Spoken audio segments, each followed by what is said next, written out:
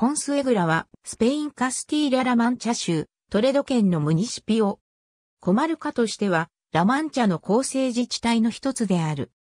トレド県の県とトレドから南東に約 60km、シウダレアル県の県とシウダレアルから北北東に約 80km の距離にある。2009年の人口は1932人だった。主要な経済部門は農業であり、小麦などの穀物や野菜、ブドウ、オリーブ、サフランを生産している。他には、繊維産業や材木業なども行っており、第三次産業では観光業、飲食業、輸出業が重要な産業である。重要なモニュメントとして、城郭と風車がある。市街地を西から東にアマルギーリョ川が流れている。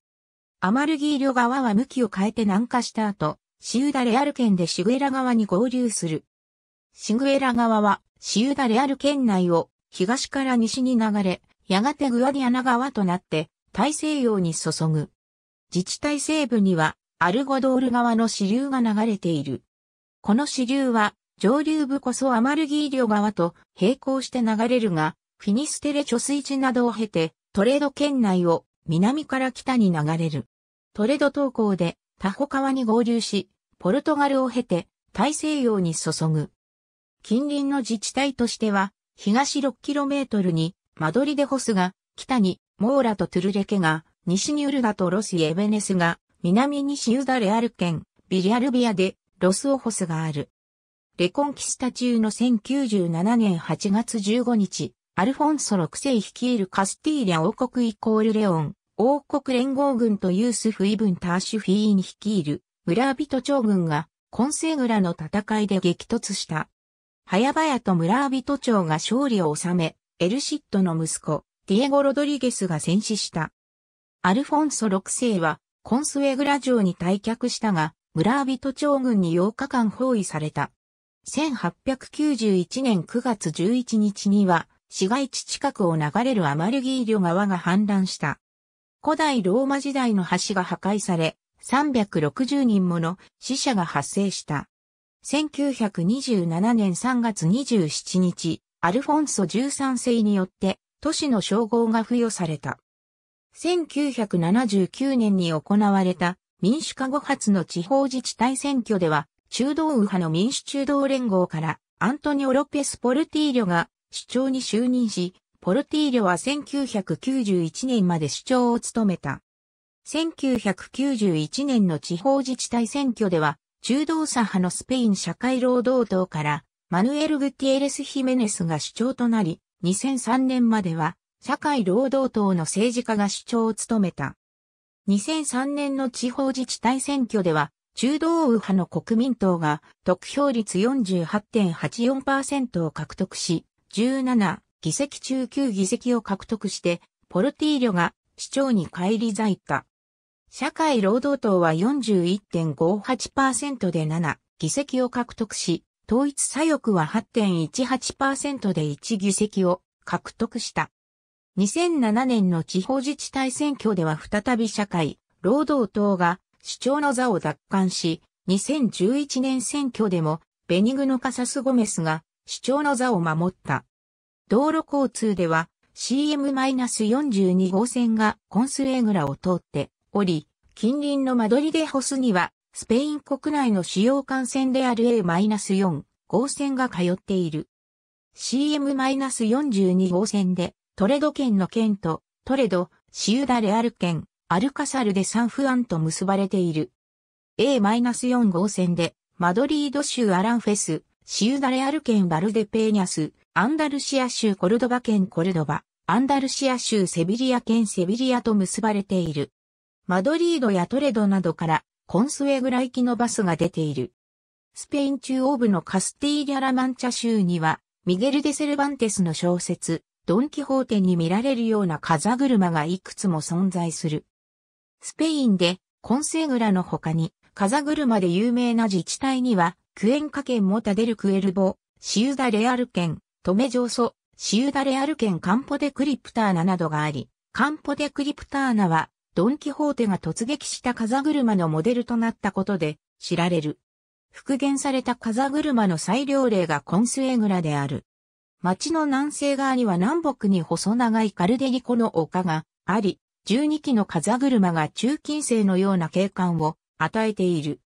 コンセグラの町は標高約700メートル、カルデリコの丘の上部は標高約800メートルであり、飛行は約100メートルである。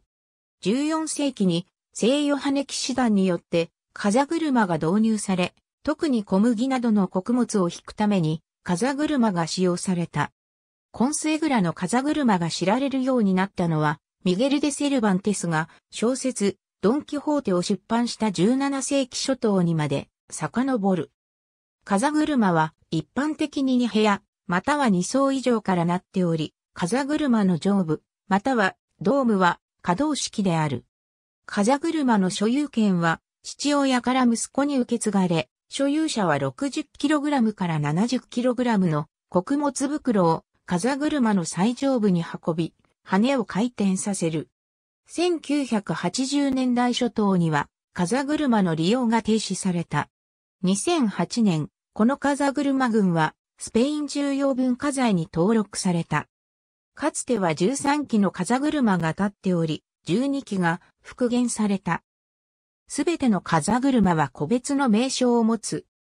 コンスエグラ城オリジナルの要塞は、ローマ帝国のトライアヌス帝によって建設された可能性もあるが、8世紀にアッバース朝、第2代カリフのマンスール帝によって建設されたとする歴史的な記録が残っている。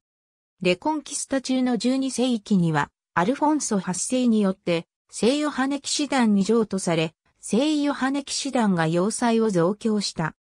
スペインを含む連合軍とナポレオン・ボナパルト率いるフランス軍が戦った半島戦争中の1813年には城が破壊された。1962年には城が自治体に割譲されて改築が行われた。1985年には学校作業場が城内部に設立され、この作業場は現在も活動を続けている。1670年にルネサンス様式で建設された市庁舎はエスパーニャ広場と呼ばれる主要な広場に面しており、時計塔と呼ばれている。この広場には17世紀に建てられた Los Corredores と呼ばれるラマンチャ地方の典型的な建物があり、かつてはこの建物が市庁舎として使用されていた。コンスエグラの工芸品はその品質と多様性で知られており、これらの製品の原料はこの地域固有のものが使用される。自治体内には伝統的なデザインの工芸品を製作するいくつかの作業場があり、手の込んだと椅子や寝室などで使用する家庭用の家具などの作業場や石造工芸品の作業場などがある。コンスエグラはサフランの産地として有名であり、10月最終週にはサフランのバラと呼ばれる祭礼が開催される。この祭礼は1962年に D. オスカル・ディグノエスによって設立され、1963年に始まった。サフランのバラは2部構成になっており、第1部は山頂の風車での美人コンテスト、第2部は伝統料理大会である。聖アントン祭は春の復活祭の時期、または9月20日から25日に行われる。中世のコンスエグラも重要な祭礼である。マチェゴ料理、またはトレド料理がこの地方の伝統的な料理であり、パンにチョリソーやベーコンやハムなどを挟んで作るミガス、小麦粉、チョリソー、他の材料で作るガチャスなどがある。コンセグラでは料理の色付けに使用するサフランを生産しており、ラマンチャのサフランの原産地故障制度の対象地域となっている。ありがとうございます。